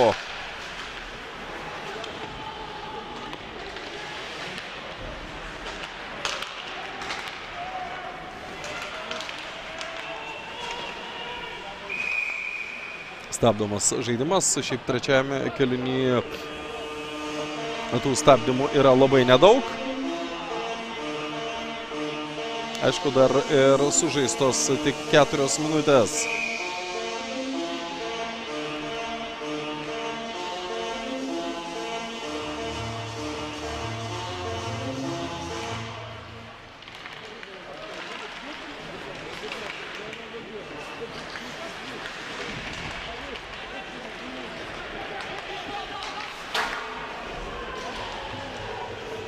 Kovos iš esmės tikėtina, kad dar gali būti šiuose rungtynėse, nors a, ta trečiojo kelnio pradžia tokia nu, šiek tiek lengvesnė, atrodo, kad abi komandos jau dabar žino, e, kas laimės šias rungtynes. Na, aišku, ir prieš rungtynes nebuvo sunku nuspėti, kad tik vieną kartą per visą šį sezoną pralaimėję Mogo ritulininkai bus šių rungtynių favoritai. Na ir per pirmąjį kėlinį jie žengė net tris žingsnius, kad tas pralaimėjimų skaičius neišauktų. Čia Sergejus Pisarenka jo rankose rytulys.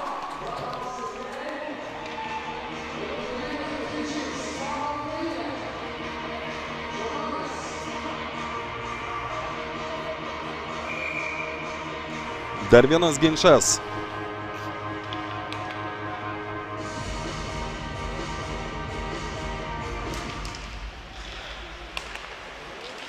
Ir čia tolimas metimas, netikslus, Pisarenka ant ledo. Gerai, kad nebuvo atliekamas metimas, dabar labai rimtas pavojus. Dar nesibaigė tas pavojus. Yra ką veikti.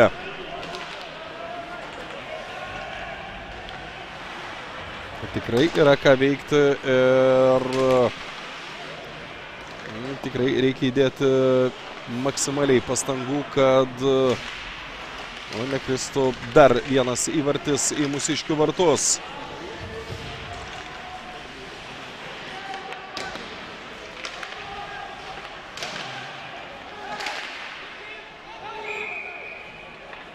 Skrieja rytulys virš apsauginės sienelės, o tai reiškia, kad na, bus dar vienas ginčas.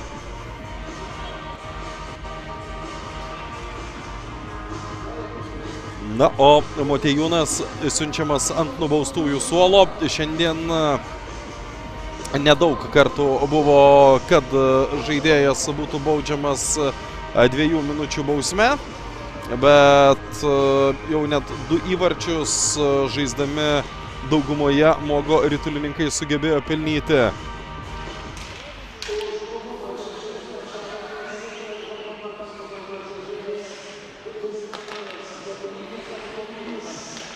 Ir čia dar vienas įvartis, nu, labai labai lengvai, 10 sekundžių daugumoje žaisdami pasižymė uh, Mogo ritulininkai, trečias įvartis žaisdamas daugumoje ir čia galbūt net ir psichologiškai jau sunku yra 7 bet kokį panks, nes pernelyg lengvai. O anas iki, kai buvo pašalinimas 19 sekundžių, truko nuo, įvarčio, nuo pašalinimo iki įvarčio, dabar truko tik 10 sekundžių. 8-3. Auga skirtumas. Mateiko kairiajame krašte ir štai taip bando dabar blokuoti savo varžovą aikštės šeimininkų žaidėjas, bet iš to naudos daug išpešti nepavyksta.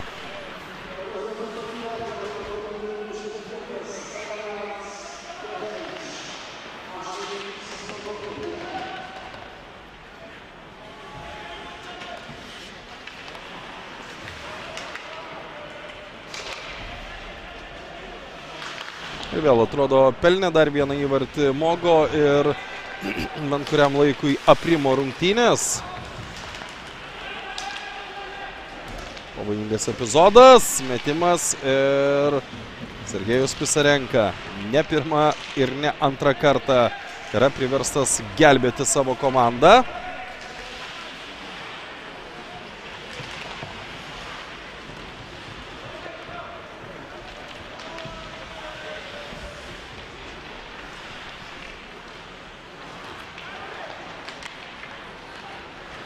Vienu metu atrodė trečiajame kelnyje, kad e, kovos e, bus ne tiek ir mažai tame trečiajame kelnyje, bet vis tik o, didžiaja dalimi labai aiškiai abi komandos žino šių rungtynių laimėtojus. Tokiais atvejais prisiversti žaisti šimtų procentų ir įdėti šimtą procentų pastangų yra paprasčiausiai per sudėtinga. Dabar labai pavojingas epizodas buvo, bent jau akimirką sugebėjo o, išsilaisvinti iš tos super pavojingos situacijos pankai.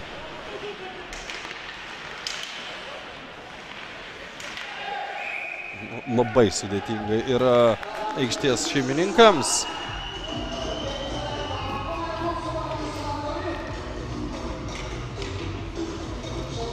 Na ir tos tokios pauzelės be abejonės yra tarsi išsigelbėjimas.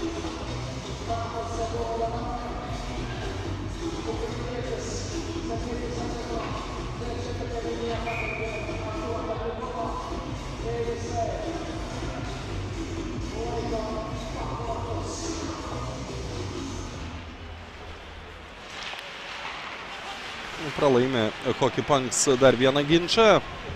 Labai daug pralaimėtų ginčių buvo pirmajame rungtynių kelinyje, antrajame situacija kiek pasitaisė. Na, trečiajame ir vėl dažnesni ginčių laimėtojai yra Amogo rytulininkai.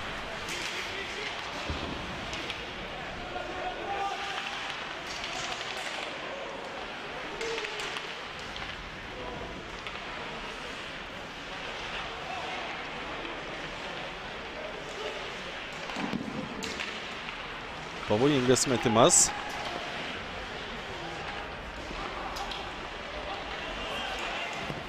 Dar vienas metimas. O bent jau statistika gerinasi po tokių metimų Sergejus Pisarenka. Ir dar vienas metimas, pavojus. Gerai, kad nėra šalinimo. 9 minutės prabėgo nuo trečiojo kėlinio pradžios pakankamai greit bėga trečiojo kelnio laikas. Na ir e, eilinį kartą e, Pisarenka gelbėjo komandą, čia četvirtakas. Pirmojo įvarčio autorius, geras perdavimas! Pirmojo pankų įvarčio autorius, dabar nedaug trūko, kad būtų savo statistiką pagerinęs rezultatyvių perdavimų. Gražus blokas. Tikrai efektingas epizodas.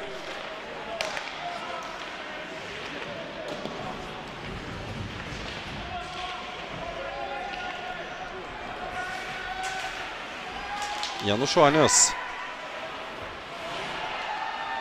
Lieka su rytuliu Vilniečiai. Na ir užteko tik įvardinti čia frazę ir rytulys buvo prarastas.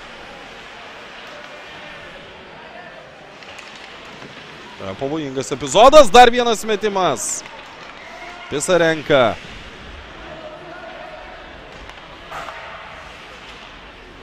Negali koncentracijos uh, palikti nie akimirkai. Na, ir šiaip pakankamai dažnai į jo uh, koją yra smūgiuojama. Vėl jau turbūt per tas 10 minučių 12 sekundžių trečiajame kelnyje apie 10 metimų sugebėjo, ne, uh, 10 metimų sugebėjo atremti Sergejus Pisarenka.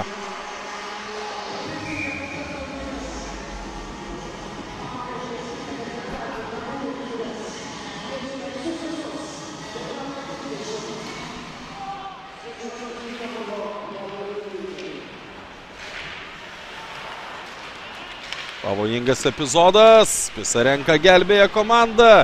Šmits, jo metimus ir štai toks Rikošėtų o dabar skriejo rytulys vartų link. Viskas baigėsi laimingai bent jau kol kas. Dar vienas pavojus ir labai rimtas pavojus. Pisarenka ant ledo. Ar pavyks apsiginti? Pavyksta bent jau kol kas tą padaryti kokį panksam. Labai, labai gerą progą padidinti persvarą turėjo Mogo. Nepasinaudoja tą galimybę. Ataka dar nesibaigė. Dar vienas metimas. Ir Sergejus Pisarenka. O čia pirmas toks jau nebroliškas susirėmimas. O, o, o! Ponios ir ponai, sveiki atvykę į, į MMA ant ledo.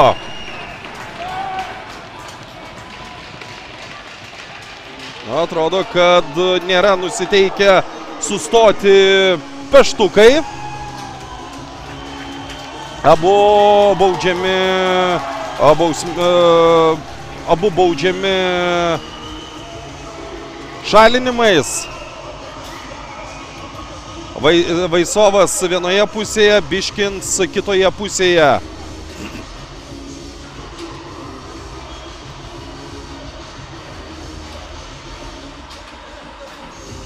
Na ir aišku, tokiuose rungtynėse, kuriuose sužaista 11 minučių trečiajame keliny ir vienai komandai pirmaujant penkių įvarčių skirtumų, tai tokie epizodai kažkiek paskaidrina pačias rungtynes. Diskvalifikuojami abu ritulininkai iki rungtynių pabaigos.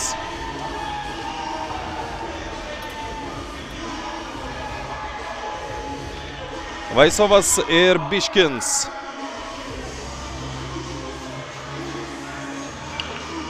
Viskas prasidėjo nuo to, kad Sergejus Pisarenka fantastiškai išgelbėjo savo komandą.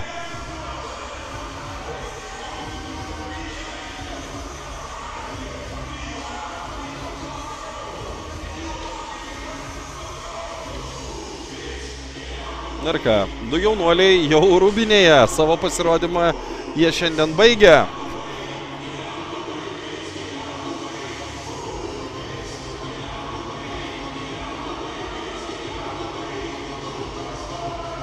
Ir atrodytų toks ramus trečiasis kelinys virto ringu bent jau trumpam.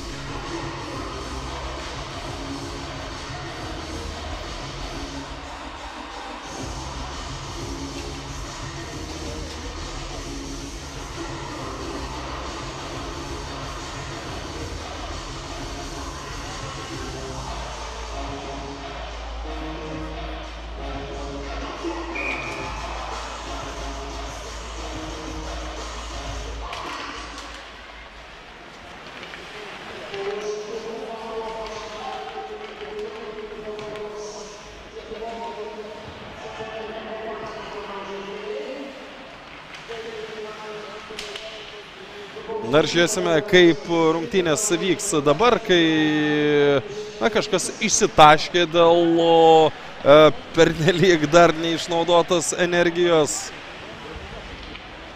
Na, aš spėju, kad rungtynės e, vyks panašiai, kaip jos vyko e, kaip jos vyko iki dabar. Dabar galimybė Vilniečiams. Neišnaudota proga. Turi, e, vyks kaip vyko, turiu omeny pakankamai ramiai. Visą renka dar kartelį e, ima rytulį į rankas. Nu, kol kas labai labai neblogas jo pasirodymas e, šiose rungtynėse.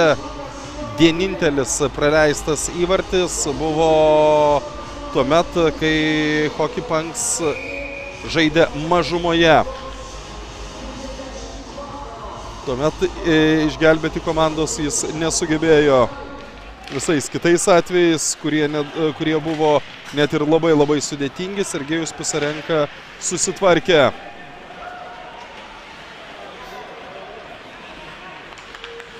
Aštuonios minutės yra likusios iki šių rungtynių pabaigos.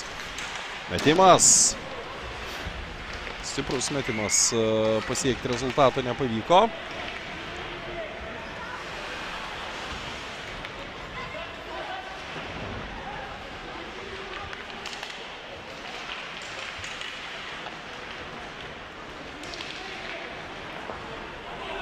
Oi, oi, oi, oi.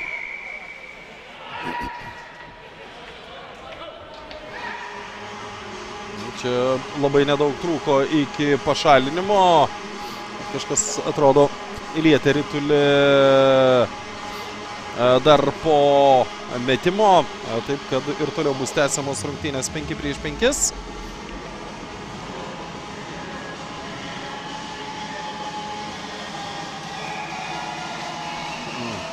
Publika pasitinka e, Vaisovą, e, kuris e, nueina prie atsarginių suolo. Bet atrodo, kažko tiesiog paprašė ir grįž atgal į Rūbinę. Dar kartelį stabdomos rungtynės.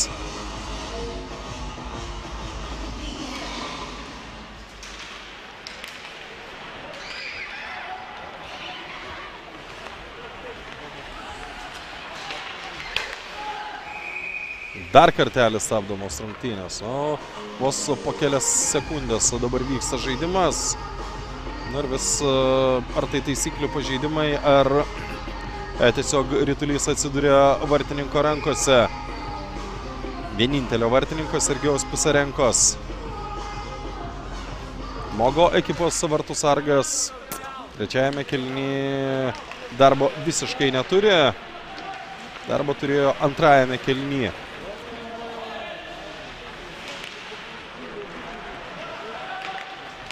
O čia labai neblogas epizodas. Bent jau pradžia buvo nebloga Mogo komandai.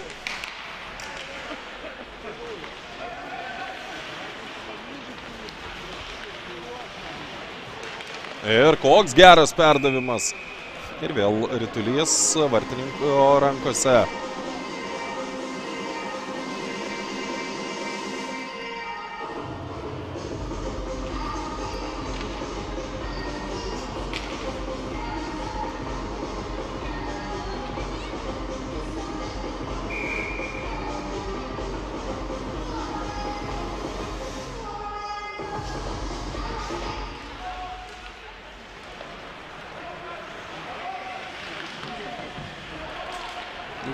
Išeiti į ataką netokia dažna e, trečiajame rungtynių kelinyje.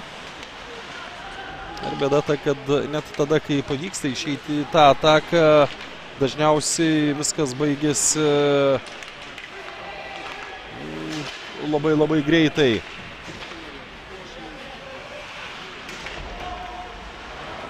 O dabar sėkmingai apsigina ir 7bet kokį panks rytulininkai.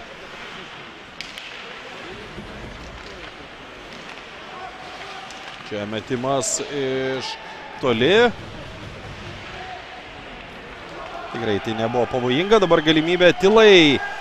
Jis neatlieka perdavimo tikslaus. Nors vieną rezultatyvų perdavimą Tila yra atvyk, e, atlikęs šiuose rungtynėse. Net kai įvartį pelnė Ilja Četvertakas.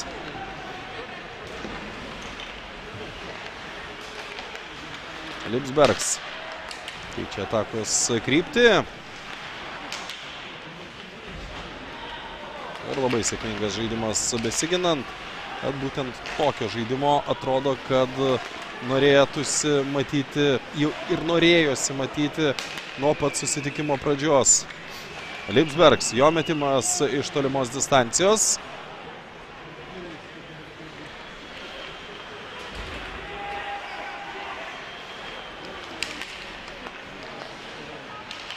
Dar vienas metimas.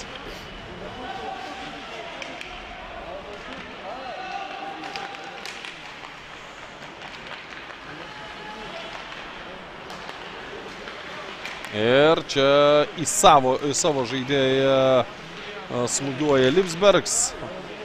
Taip kad a, pavojaus nėra Sepanavičius. Labai keistas a, sprendimas būtent a, į tą aikštės vietą numesti rytulį. Čia pavojus. Ataka dar nesibaigia, kurią rezga Latvijos klubas.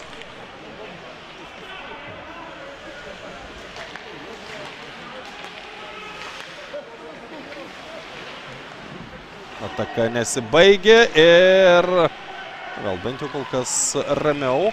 Šmits vėl apsigina pankai. Jau galimybė išeiti į ataką. Labai labai greitai baigėsi ta galimybė, nenuveikus visiškai nieko. Apsigina Vilniaus ekipa. Labai lengvai atiduotas rytulys, dabar 2 prieš 1. Kuo baigsi ši situacija? Metimas ir Skjoldas. Du įvarčius šiandien jau yra pelnęs šis e, žaidėjas. Deja, jie trikų nepasižymė. O šansas buvo tikrai labai labai neblogas.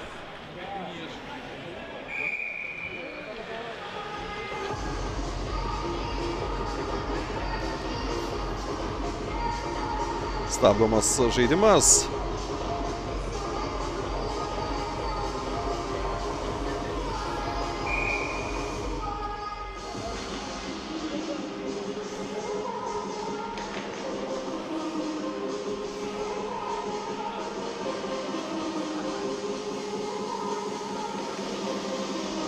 Ir dar vienas ginčio rytulys. O pakankamai ilga atkarpa buvo be ginčių.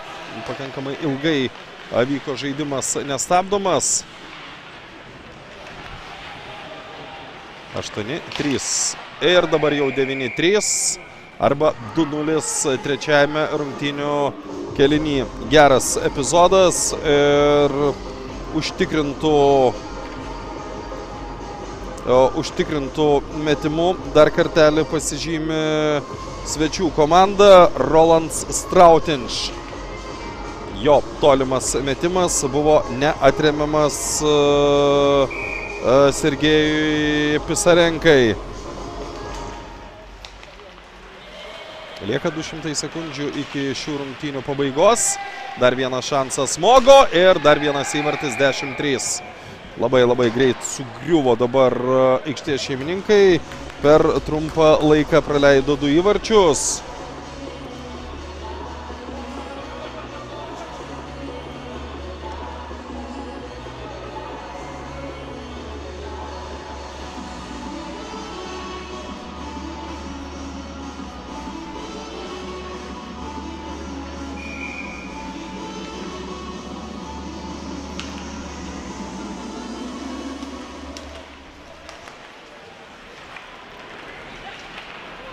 Taip, mes nenumaldomai artėjame prie pabaigos. Kažkaip jau galvojau, kad gali ir baigtis rungtynės 8-3, bet per labai trumpą laiką buvo pelnyti dar du įvarčiai.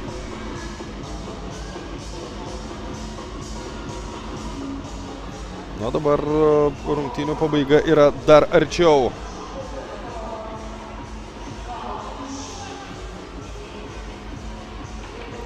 Rungtynių pabaiga yra dar arčiau. 3 minutės užbaigti šį mūšį. OptiBet ledo rytulio lygoje, kurioje rungėsi Lietuvos ir Latvijos klubai. 2022-2023 metų sezono lyderis Mogo klubas 10-3 pirmauja prieš Vilniaus 7bet Hockey Punks ekipą. Na ir akivaizdu, kad užsitikrins pirmąją vietą. Ar Vilniečiai sugebės pakilti po iš aštuntos pozicijos? Na, jie turi tam visas galimybės. Reikia po savaitės kitą ketvirtadienį nugalėti Dinaburgą. Na ir bus aplenkta bent viena iš Lietuvos komandų. Arba Elektrienų Airvel Energija, arba e, Kaunas City ekipa.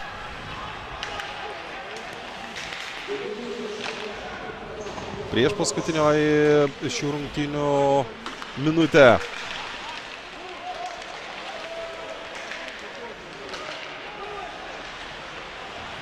Negali sakyti, kad pankai nekovojo, negali sakyti, kad komanda nesistengė, tiesiog šiuose rungtynėse mes pamatėme realų lygių skirtumą. Čia dar viena ataka, kiek uždelsė su metimu ir manau, tai labiausiai padarė įtaką rezultatyviausiam visų laikų Latvijos čempionatų žaidėjui. Dar vienas šansas ir dar kartelį triumfuoja Sergejus Pisarenka. Gražu. 78 sekundės iki rungtynių pabaigos.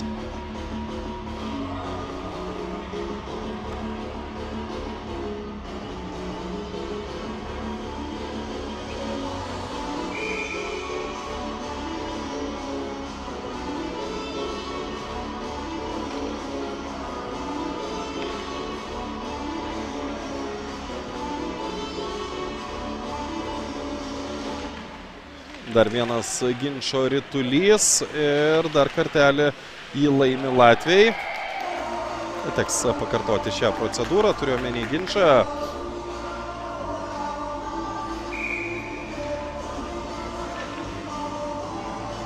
Dar keliomis sekundėmis mažiau iki dvikovos pabaigos.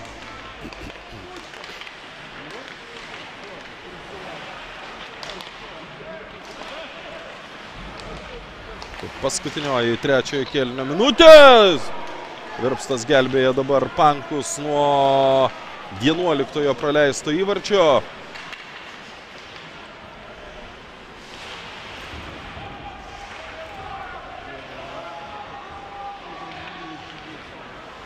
Ozanliš. Jo perdavimas kairiau, nu, Pisarenka neįsivaizduojamai daug darbo turėjo per visą trečiąjį kelnį. Priminsiu, kad jis a, būtent tik trečiajame kelnyje pasirodė aikštėje.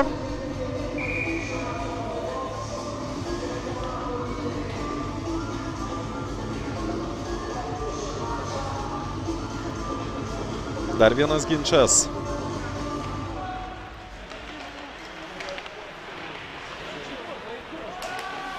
Šiaip būtų smagu pabaigai Vilniečių tikslus smūgis, nors aišku jis nieko nepakeistų, bet na, bent jau pagerintų nuotaiką. Įvartis yra pelnytas, tačiau jį pelnė ne aikštės šeimininkai, jį pelnė Mogo ritulininkai 11-3.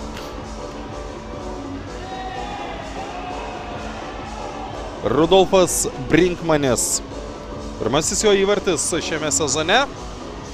Atlikus žaisti 21 sekundai iki rungtynių pabaigos 11-3 svečiai pirmauja prieš aikštės šeimininkų komandą.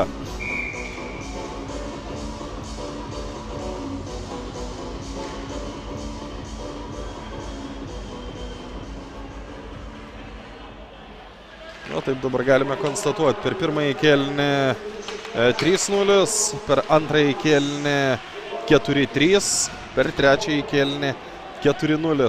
Kad ir kaip atrodytų, o neblogai trečiajame kėlinyje žaidė pankai, bet jie praleido keturis įvarčius, 2 ir 80 sekundės dalis užbaigti šią dvikovą.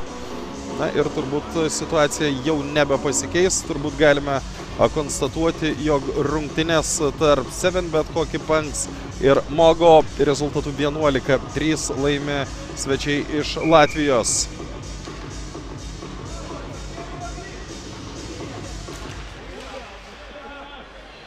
Viskas baigėsi trečiojo kėlinio laikas, būtent 11-3 ir yra galutinis šių rungtynių rezultatas. Ačiū visiems stebėjusiems rungtynės. Priminsiu, kad Hockey Punks į Vilniaus pramogų areną savo gerbėjus kviečia lygiai po savaitės vasario 16-19.30. Tada laukia rungtynės su Dinaburga.